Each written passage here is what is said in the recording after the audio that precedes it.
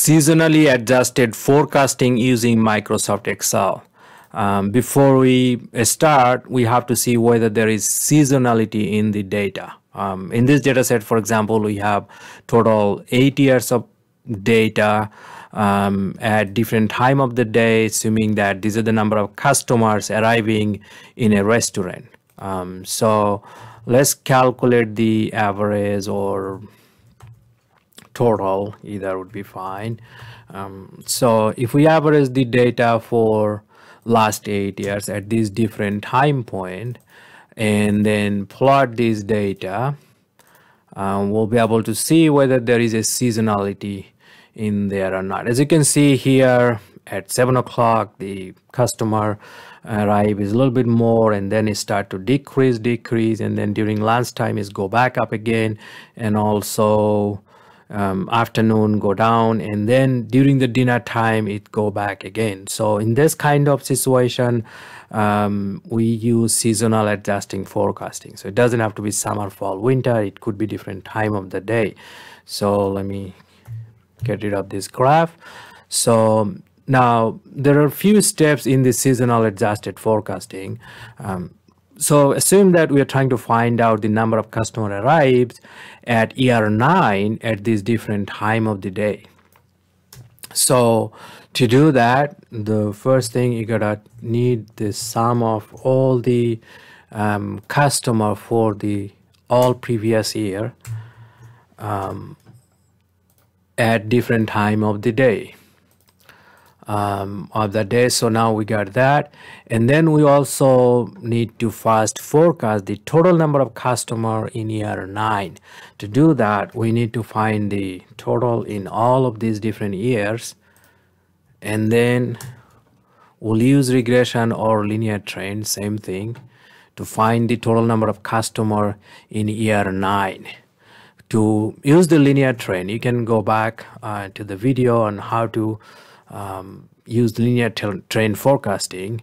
Um, basically, you calculate the intercept and slope, and then you use that um, to calculate, predict the next year um, forecast. So there is a function in Excel called slope, where you can do like that. Will give you the slope, and then also there is a function called intercept that you can use to calculate the intercept. So y values comma x values close it. So then the ER9 prediction now um, would be simply the slope times 9 ER9 plus the intercept. So this is the ER9 prediction. We also need the total number of customer basically sum of everything in all um, eight years. So that's the total customer arrive in that restaurant in total in last eight years. Uh, we use that to calculate the seasonal factor. So the seasonal factor is calculated basically by the total number arrived divided by the on that particular time point the total number arrived at seven o'clock in the morning divided by the total eight years data i'm to freeze that because i'll again use multiple time in all cells below like that. And then the seasonally adjusted forecasting value would be simply the seasonal factor times the number of customer arrive in year 9 and again I'll have to freeze that as well as I'll be using that same value all the way down.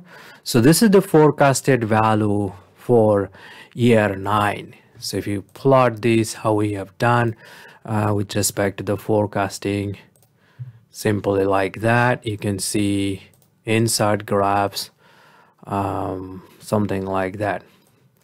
Um, there is a trend going upward number of customer you can see that um, the total here started with 681 and then in year 8 it was 1324 so there was an upward trend in this data set so as you can see here these predicted or forecasted values are higher than the um, average demand, for example. Um, so it's kind of looking nice. So um, this is probably the best, not probably, this is the best forecasting method out of all this stuff we have learned, like, you know, moving average, seasonally adjusted, sorry, regression, linear trend, things like that uh, for this particular data set.